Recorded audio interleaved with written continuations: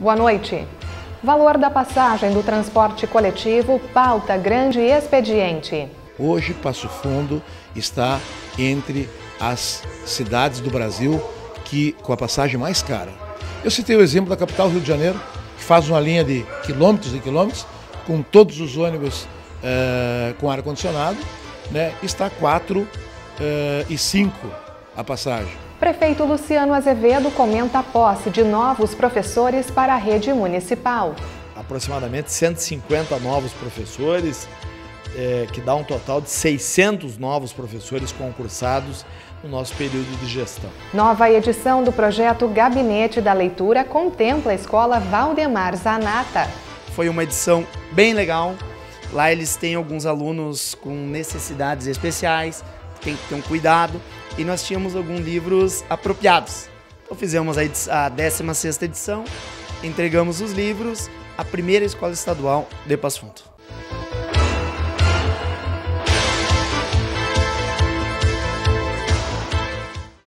O espaço do grande expediente de segunda-feira foi ocupado pelo vereador Luiz Miguel Chais. Inicialmente, o líder da oposição criticou algumas ações do Poder Executivo. O parlamentar lamentou a situação da Codepas, que tem futuro indefinido, já que a empresa ficou de fora do edital do sistema do transporte urbano. A segunda reclamação envolve a cobrança do imposto predial territorial urbano. Em breve deve chegar à Câmara de Vereadores um projeto em regime de urgência para a redução de valores do IPTU de 2021. Acontece que o líder da oposição quer um tempo maior para debater a pauta junto à comunidade. Por último, falou sobre o recente reajuste do valor da passagem de ônibus. Como que uma empresa que nem a Codepas, que tem a coleta de lixo, que tem o transporte público, que tem o estacionamento rotativo, uma empresa que trabalha sempre no negativo. Nós temos certeza que é má administração e nós tentamos aqui na Câmara de Vereadores uma CPI, conseguimos nove assinaturas, mas a pedido do senhor prefeito municipal, dois vereadores da base retiraram as assinaturas, onde ficamos prejudicados. Outro assunto que nós abordamos na tarde de hoje é, sem dúvida nenhuma, o IPTU. Né? É, nós não entendemos por que, que o Tribunal de Contas apontou que Passo Fundo tinha que fazer a revisão da planta de valores, que houve um aumento exorbitante do IPTU em Passo Fundo e agora um projeto que está vindo para a Câmara para reduzir o IPTU 2021. Então nós queremos ver se o Tribunal de Contas apontou para 2020 ou apontou para 2021 ou o, a prefeitura hoje está acatando o que a oposição falou, que nós chamamos a atenção da população de Passundo, da situação da casa aqui, que é a maioria do senhor prefeito municipal, que este aumento, se esse projeto viesse a ser aprovado, esse aumento iria calejar a população de Passundo. Outro assunto que nós abordamos também é, sem dúvida nenhuma, o aumento das passagens. Hoje, Passo Fundo está entre as cidades do Brasil que com a passagem mais cara.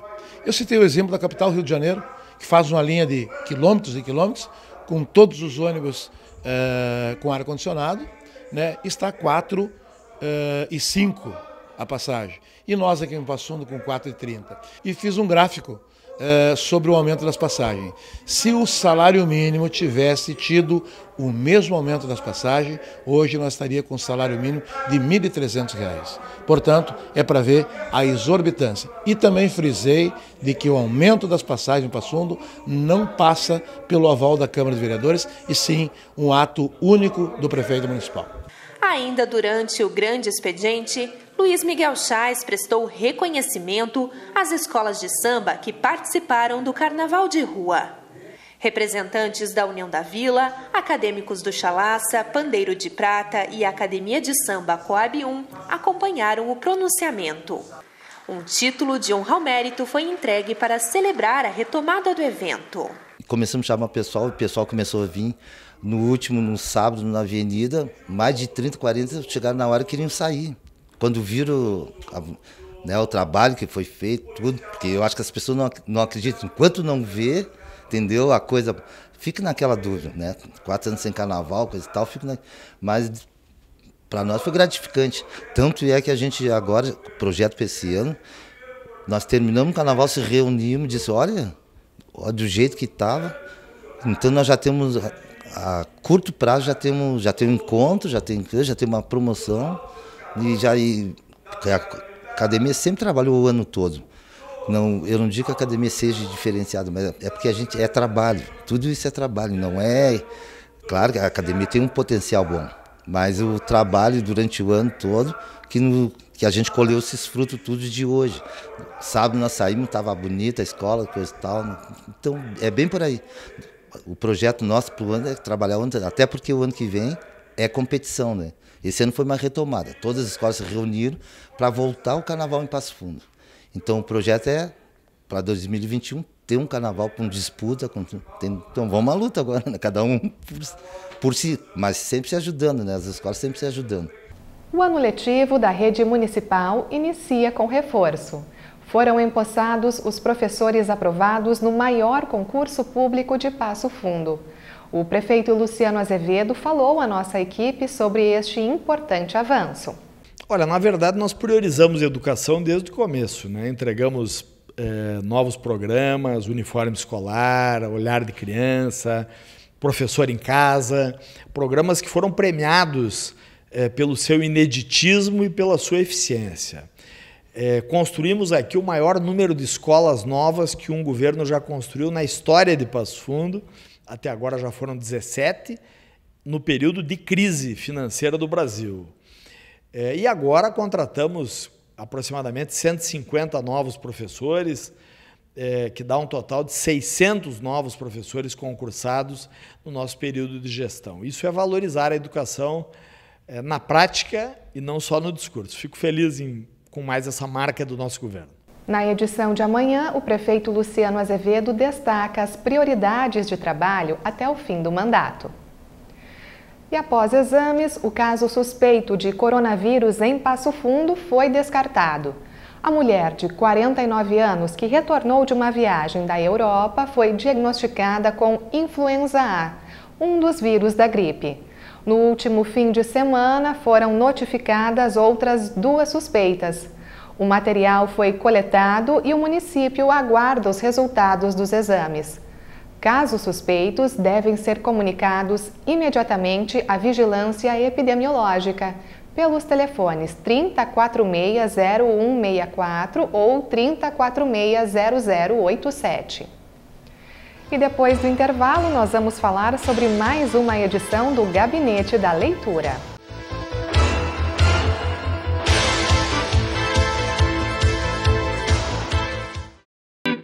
Na dúvida, não compartilhe. Sabe aquela notícia que você recebeu no grupo da família e ficou na dúvida se era verdade ou não? Pois é, a desinformação pode vir de todos os lados, mesmo de uma pessoa querida. Sempre desconfie de tudo que receber no celular e nas redes sociais. E também daquelas coisas que chegam pela internet e parecem estranhas demais para ser verdade. Você é responsável por tudo que compartilha. A melhor maneira de combater a desinformação é dividir com outras pessoas apenas o que é verdade. A informação falsa se alimenta dos compartilhamentos irresponsáveis. Se ninguém passa uma notícia duvidosa adiante, ela vai perdendo a força até morrer.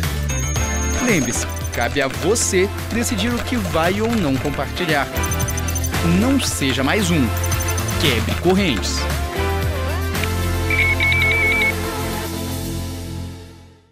Ei, eu queria poder falar com você.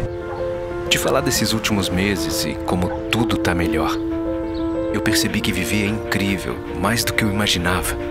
Ser pai era um sonho e você me permitiu presenciar o nascimento da minha filha. Foi lindo. Pintei o quarto dela exatamente como imaginei. Antes de você, eu tinha medo de não conseguir estar presente quando esse momento chegasse. Queria te contar que, por sua causa, eu pude viver tudo isso. Provavelmente outras pessoas por aí querem te falar muita coisa também. Acho que você teria orgulho. Não só por mim, mas por ter feito algo tão nobre por pessoas que nunca viu. Eu só queria dizer obrigado. Obrigado por me dar mais tempo com a minha família. Obrigado pela sua doação de sangue. Doe sangue regularmente. Tem sempre alguém precisando de você. Procure o Hemocentro mais próximo e seja um doador.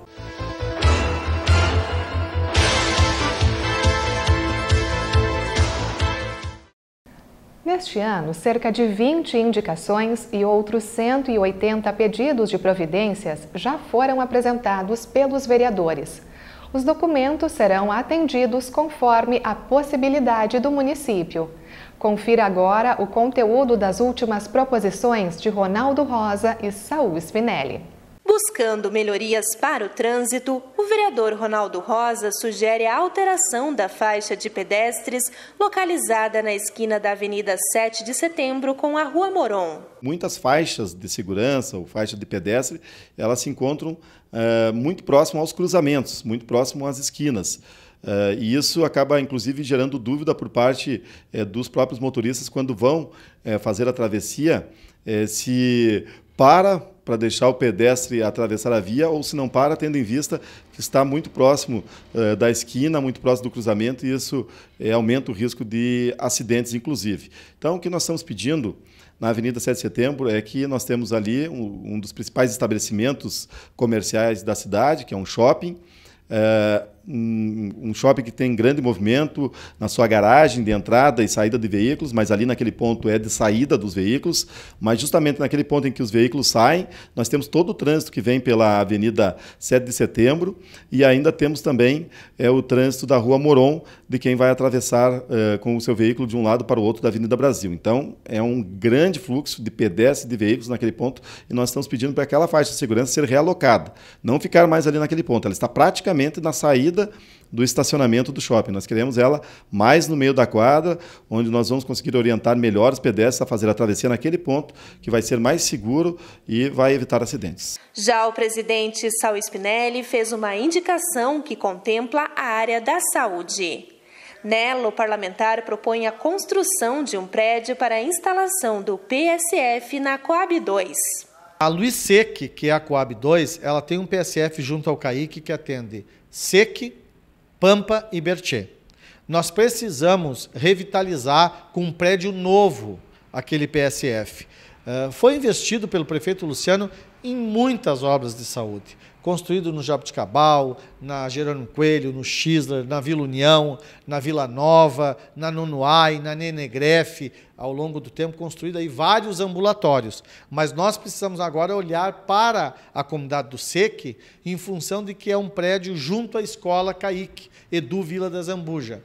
Eh, nós precisamos eh, eh, fazer um prédio atual, moderno, um prédio que tem acessibilidade, que tem a sala de vacinas iluminada, de acordo com a vigilância sanitária. Uma luta muito grande da equipe, que é uma grande equipe, se diga de passagem, da Moluse, da Associação de Moradores, que é uma grande equipe da Associação de Moradores, junto com a Associação do Felipe, ali a Associação de Moradores da Bertê, o Marco da Associação da Pampa e o Paulinho da Moluse do SEC. Então, ah, Ana, é importante dizer que esta demanda é uma demanda construída com todo mundo, inclusive com a escola do Caíque e com a professora Grazi. E a Escola Estadual Valdemar Zanata foi contemplada pelo Gabinete da Leitura. Desta vez, os livros foram entregues numa parceria entre os vereadores Leandro Rosso e Fernando Rigon. Os detalhes com o idealizador do projeto. Na Escola Valdemar Zanata, em parceria com o vereador Fernando Rigon, que é oriundo de lá, a gente atingiu a marca de 1.710 livros entregues às escolas municipais. Essa é uma edição diferente, foi a primeira escola estadual né, do interior.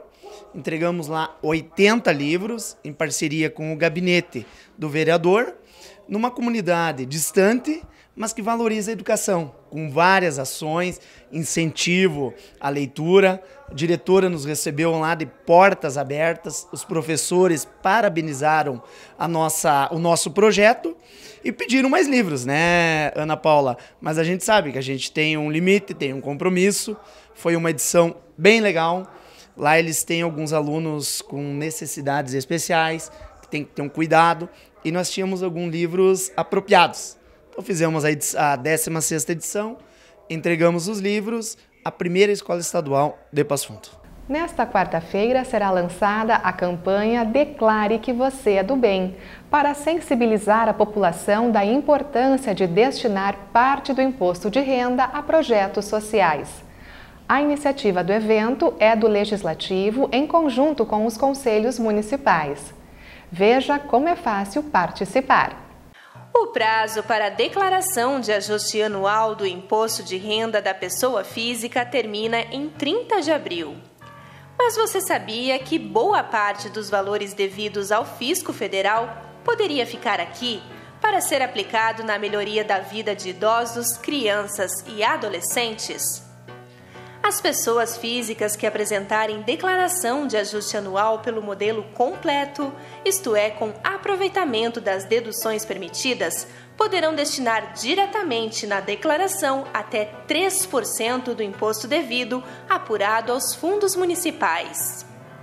Para aqueles contribuintes que já haviam destinado valores aos fundos durante o ano calendário de 2019, a soma das destinações não poderá ultrapassar o percentual de 6% do imposto devido. Além das pessoas físicas, pessoas jurídicas tributadas com base no lucro real também poderão destinar recursos ao Fundica e ao FUMUI. A destinação é limitada ao percentual de 1% do imposto devido apurado no período. Muita gente desconhece essas alternativas e deixa de ajudar dezenas de entidades assistenciais. Em 2019, apenas 350 pessoas físicas participaram da campanha, num universo de mais de 12 mil contribuintes. Considerando apenas pessoas físicas domiciliadas em Passo Fundo, mais de 11 milhões e meio de reais poderiam ter sido destinados ao Fundica e ao Fumoi. Porém, somadas as importâncias destinadas a ambos os fundos, tanto de pessoas físicas como jurídicas, o valor arrecadado mal chegou a um milhão. Agora a gente conta para onde vão os valores arrecadados. No ano passado, o Fundica contemplou 18 entidades que receberam 68 mil reais cada para serem aplicados em diferentes ações. Em 2019, o Fundo do Idoso recebeu pela primeira vez quase 52 mil reais. O próximo passo do órgão será selecionar, através de edital, cinco entidades que vão receber 10 mil reais cada para serem aplicados em projetos. Não fique de fora dessa campanha. Para mais informações, procure a Receita Federal, o Conselho de Contadores ou a Câmara de Vereadores. O lançamento da campanha Declare que você é do bem será nesta quarta-feira, às 8h30 da manhã, no plenário da Câmara de Vereadores. Participe! Uma ótima noite e até a nossa próxima edição.